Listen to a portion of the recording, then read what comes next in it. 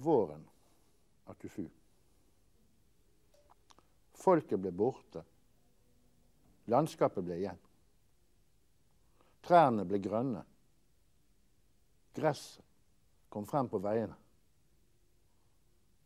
Etter vårnatten er duggen i blomstene som tårer.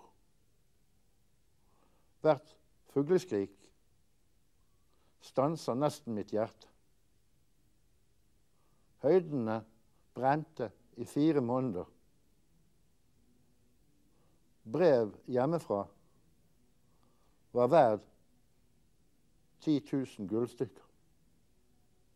Jeg prøver forgjeves å feste min hårspenne, de få hårene på mitt hvite hode.